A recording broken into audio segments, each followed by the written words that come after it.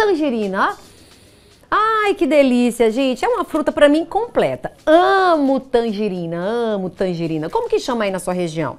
Tangerina? Ai, mexerica? É, tem outra forma? Como que se chama? Não, pouca é a marca, menina. Tangerinas, que mais? Tangerina e mexerica, né? A casca, cansei de cheirar para fazer, para quem quando tem jogo, quando a gente vai viajar. Por isso que hoje o nosso quadro é fruta, saúde e vida é sobre tangerina, que é uma fruta que possui diversos benefícios para a saúde. Rica aí em muitos nutrientes e é uma fruta ideal para consumir em tempos de calor. Vamos saber aí mais sobre a tangerina no nosso quadro Fruta e Saúde dessa semana.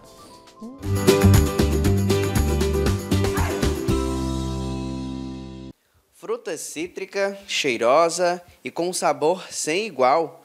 Na mão das crianças, vira até brinquedo na hora de descascar para comer. A tangerina, também conhecida como mexerica ou bergamota, é uma das frutas que mais satisfaz o paladar humano. A fruta foi trazida ao Brasil pelos europeus. Hoje, o país está entre os maiores produtores de tangerina em todo o mundo. E claro que quando falamos destas frutas, amamos citar os benefícios. Esse nutricionista fez questão de pontuar detalhadamente os motivos para consumir a fruta. Ela é uma fruta fantástica, né? Além de muito gostosa, muito refrescante também, ajuda bastante aí a combater esse calorzinho de Teresina. Ela também tem um bom fator para nossa saúde. Ela é muito rica em carotenos e vitamina C, que ajudam a aumentar o nosso sistema imunológico, né? a fortalecer a nossa imunidade.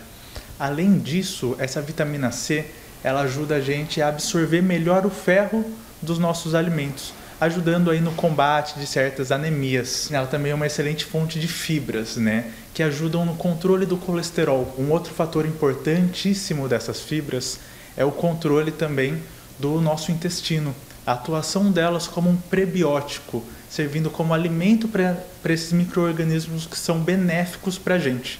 Esses micro-organismos né, quando eles se multiplicam de forma é, controlada, esses micro-organismos benéficos, eles ajudam a diminuir o número dos micro-organismos patológicos, que são as bactérias e os fungos que, faz, que fazem mal para a gente, controlando ainda mais o nosso sistema imunológico. E se engana quem acha que os benefícios são somente para quem consome a tangerina.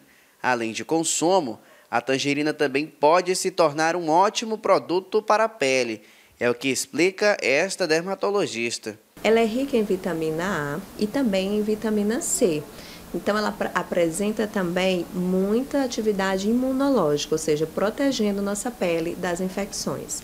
Porém, a gente precisa ter cuidado do consumo dessa fruta e principalmente do contato dela com a pele, porque como ela é uma fruta cítrica, às vezes quando a fruta cítrica entra em contato com a pele e a pele entra em contato com o sol, pode provocar algum tipo de mancha. Existem alguns produtos já de farmácia, né, de laboratórios, que contêm a tangerina como um dos ativos. Porém, é interessante que se consuma esses produtos direto da farmácia, dos laboratórios, que não tentem é, usar de, como forma caseira, né, porque pode acabar gerando algum problema aí com a pele de manchamento. De preferência com recomendação médica, né, com a receita que você possa adquirir na farmácia, esses produtos já de laboratório. Ajuda ainda no emocional, a acalmar os sentimentos de irritação, tensão e mau humor. E você sabe como? Com os bons óleos essenciais. Dentre os óleos cítricos é um dos mais procurados, né?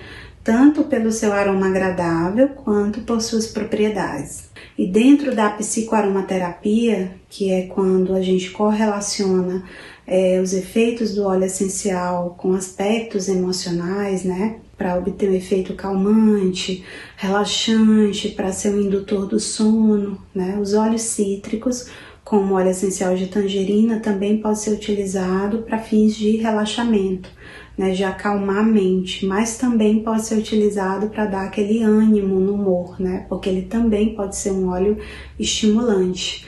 Então, a depender do objetivo, nós podemos utilizar esse óleo é, para essas finalidades. Muito importante ressaltar a cautela no uso. Então, como todo e qualquer óleo essencial, jamais utilizar puro, né? Principalmente em aplicação tópica, sempre diluído em óleo vegetal, é, de preferência sob supervisão de um profissional especializado, tá? E em relação aos óleos cítricos, muita atenção quanto à exposição solar, né? Porque tem o risco de manchar a pele.